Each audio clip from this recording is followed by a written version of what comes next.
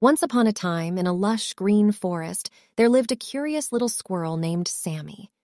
Sammy loved exploring and learning new things. Every day he would venture out into the forest, hopping from tree to tree, gathering acorns and making new friends. One sunny day, as Sammy was jumping from branch to branch, he noticed a strange bird with colorful feathers perched on a tree. The bird seemed sad, so Sammy approached him with a cheerful smile.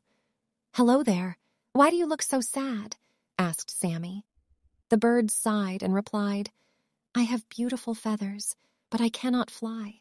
I have never been able to soar through the sky like my friends. I feel like I'm missing out on so much. Sammy felt a pang of sadness for the bird, but quickly had an idea. Don't worry, he said.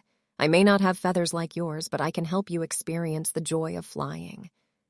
Sammy brought the bird to a high tree branch and gently placed him on his back. He climbed up the tallest tree and then, with all his might, jumped off, gliding through the air. The bird squealed with delight as he experienced the sensation of flight. For the next few days, Sammy and the bird became best friends. Sammy would carry the bird on his back and show him the wonders of the forest from above. The bird's sadness turned into happiness as he soared through the sky, embracing the freedom he had never known. One evening, as they watched the sunset together, the bird looked at Sammy with gratitude in his eyes. Thank you, Sammy, for showing me the beauty of flight. You've taught me that we all have unique gifts and abilities.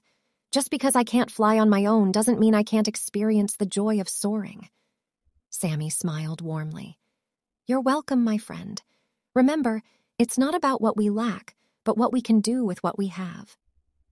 From that day forward, Sammy and the bird remained close friends. They continued to explore the forest together, learning from each other and cherishing their unique qualities. The moral of the story is that everyone has their own unique talents and abilities. It's important to embrace and appreciate what makes us special instead of dwelling on what we lack.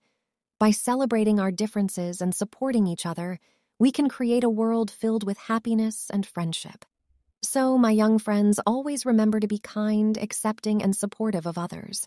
And never forget to embrace your own unique gifts, for they are what make you truly special. The end.